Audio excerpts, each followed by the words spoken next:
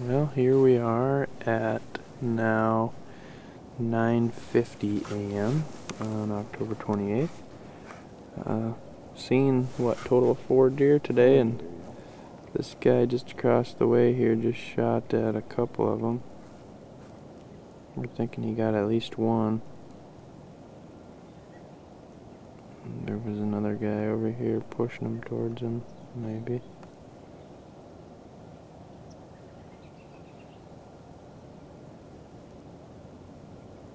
It's about 900 yards away, what you're looking at over there.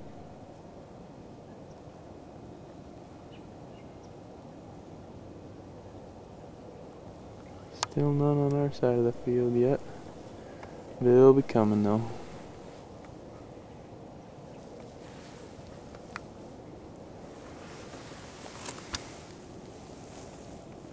What do you think, Scoutmaster?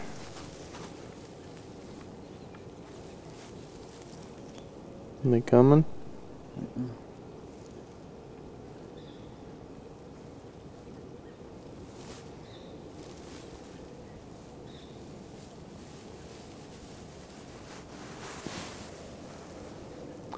What's he doing over I there? don't know where they came from. He's just turned the other way, looking the other way.